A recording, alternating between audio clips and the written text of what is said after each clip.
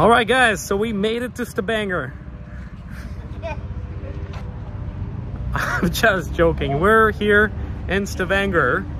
Just uh, our first first few minutes here. And we thought the first stop that we're gonna do is gonna be the, the culture slash history museum of Stavanger. So uh, let's let's go inside and see what they have. Ooh. well, look at that. As you walk up, you can see a gigantic, oh my god, skeleton of a whale. How cool is that? Wow. I don't know if you can touch it, but I, I just did. Wow, this thing is massive. Look at that. Look at the spine on this thing. Wow. Just keeps on going and going and going.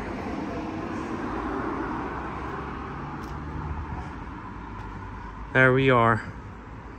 This would be the, the tail. And it is real, I, I'm assuming. Looks pretty real to me. Sort of porous. No, it's definitely real, boys. Wow, look at that. There you are.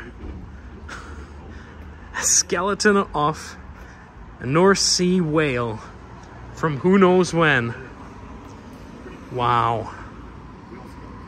You know, you never get to see that. I mean, when do you see a whale? But then when do you see a, when do you see a skeleton of one? Wow, look at that. And what is this? This is some sort of gills or what is this? No. Beast. Look at that. Here's the big boy. I never, you know, I never realized that they're so huge. I never seen one in real life. Wow. So I guess this is where the, the eyes would sit. Wow, look at that. Look at that. All right, well, let's go in. Let's go in. Really excited already. Oh, and there's a little stone here. Let's check out what that is. This looks kind of cool. Let's see if there's any runic inscriptions on it or... Oh, look at that. That is interesting. Sort of reminds me of a... This is a cross, I think. Maybe this is a an ancient cross from when Norway was transitioning into Christianity from being pagan. Very interesting. We'll find out inside. All right, let's go. Okay, welcome. Let's check it out. Oh.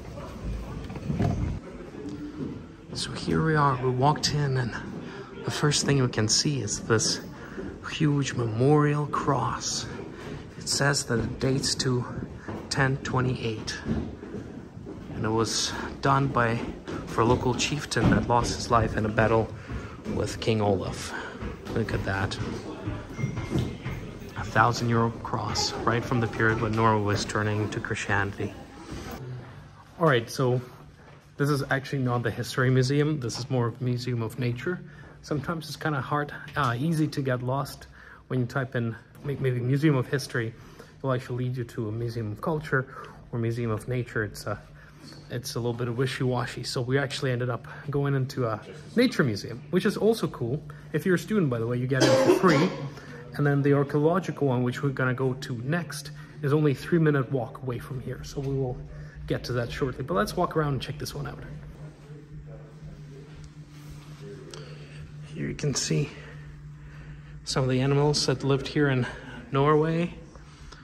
Um, one interesting thing, actually, the bear population of Norway is really small because in the 19th century they had a policy where they would they wanted to hunt them down, I think just to decrease the, the death rate from the attacks and they sort of overdid it and there was barely any bears left in Norway and only recently have they started to um, to reintroduce them but it's it's going quite slow so there's still barely any bears anywhere in Norway only really to the north um, by the by the polar latitudes there. But you know these these little bears would run around here a few hundred years ago. Here's some birds that you could find in the surrounding areas. There's some little birdies that flew, flew around here. As you can see, there's a large variety of all sorts of uh, canaries and whatnot. Owls. Look at that. That is beautiful. Again, we see another whale skeleton right here. Wow, these things are huge. Yes,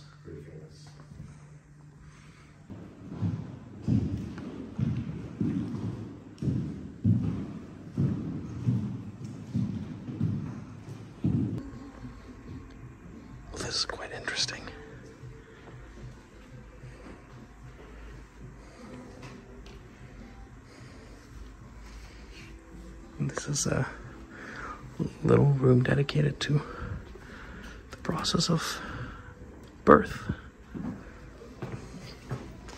That's a change. There you go. You, you can look at the uterus and uh, experience. This is quite. This is quite different.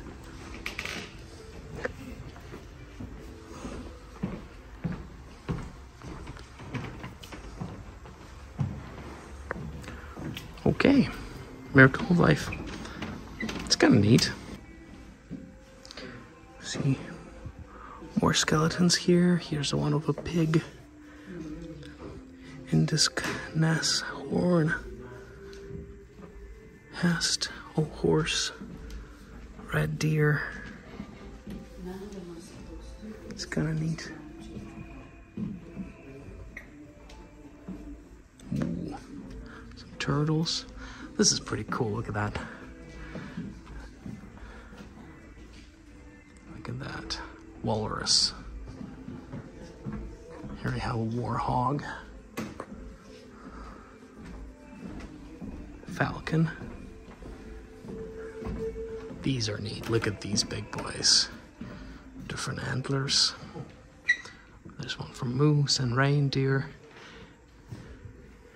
Buffalo. Oh. And this here is a skeleton of a African elephant. Look at that. Wow. That's a sturdy, sturdy skeleton. As you can see, the uh, the ivory's gone. The hooves are gone, but based. Look at that. Here we have a skeleton of a a dolphin, and then of a killer whale. Wow. Look at how complex nature makes makes us. It's fascinating. Oh, and this is neat. Look at this all different types of marine animals that I'm imagine can be found around the coast here. Beautiful. It's very, very cool. These thing right here, forgot the name, but um, they're the billions of years of old. All right, correction. Not billions of years old, but half a billion years old creatures. They're 445 million years old species that haven't evolved much for the last 200 million years. So, what you see is what dinosaurs would have been stomping on when they were roaming the earth. These guys are 200 million years older than dinosaurs, and they survived the extinction of the dinosaurs. So, very, very ancient species, basically walking fossils. But what makes them really special is their blood. It contains a special uh, chemical instead of iron, it has copper, and so their blood actually appears blue. But what makes it so special is that scientists all over the world rely on it to test um, medicine and instruments for contamination before using them on people, making horseshoe crab blood the most one of the most valuable um, substances in the world. Hey guys, and I just walked into this little room and I I want to show you the exhibition they have here. It's quite unique, I think.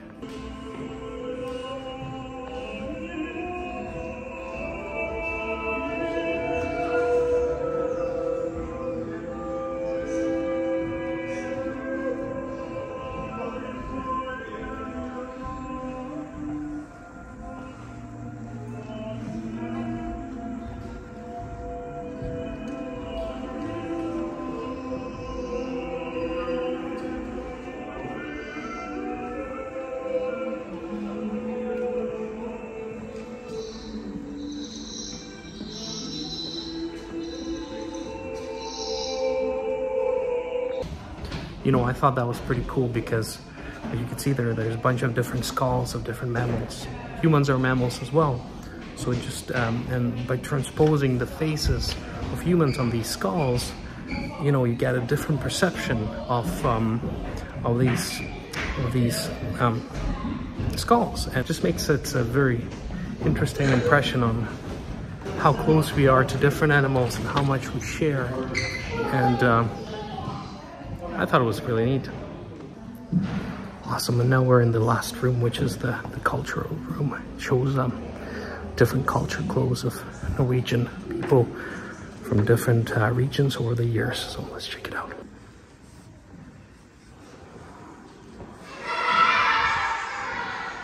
Wow, look at that. What a beautiful culture.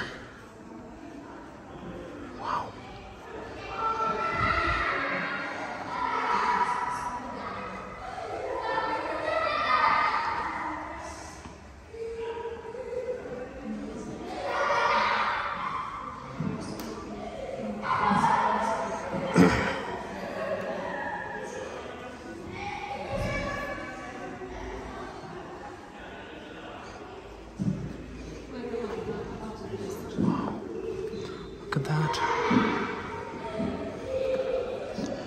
Beautiful headwear.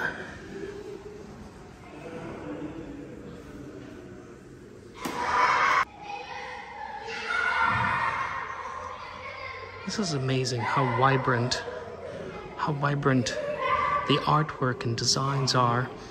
And um, I'm sure a lot of you, like I did for myself, will be amazed by the similarities you might see with some of in some of these designs with your own culture, maybe Eastern European or Central European. You know, looking at looking at where uh, can tell us a lot about history and how people communicated between each other. And this is something that we can see look in these traditional clothes. Here you have traditional clothes from all over the world. We just saw Azerbaijan, Pakistan, what is this? Venezuela, India, Albania. It's really quite interesting. Here's a little glimpse on old Norwegian furniture. Beautiful. Like, just look how complex the furniture was. Why can't we have this stuff today? Look at the carvings and embroidery. Wow. And this is this is quite unique. Look at this. This is a little little scene of what life in Stavanger would look like in 1800. See much different, much more simple. A lot of things were made out of wood. As you see, there's ample amount of wood all around us, pine and other trees and birch, and so they would carve out all these things out of beautiful, beautiful furniture pieces out of wood, and this would be what what Norwegian would see every day waking up in 1800. Yeah, some more, some more traditional artifacts. Let's see what year is this. Again, 18th century it looks like.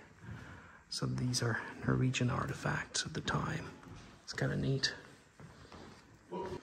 And here you can see a wealthy middle class family in Stavanger somewhere around 1814. This is what, you know, a daily, daily life would look like for them. So quite extravagant clothes and, and furniture, some, some paintings of family members.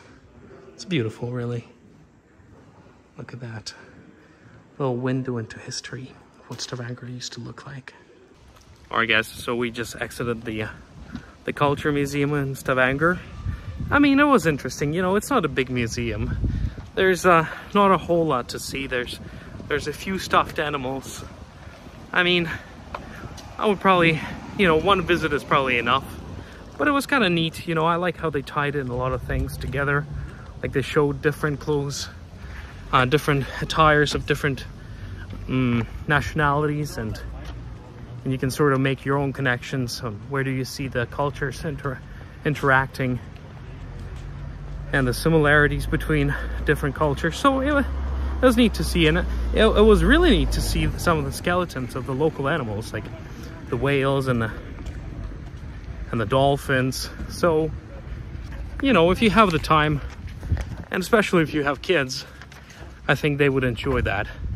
But we are off to the uh, to the next one, which is actually called the Archaeology Museum, and I think that's where you want to go if you want to see some some of the ancient history from Norway.